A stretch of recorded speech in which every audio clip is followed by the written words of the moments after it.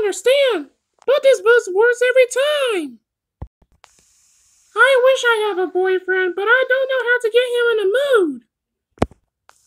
I know. I just have to do what it says in a book. We sure we do. Never! See?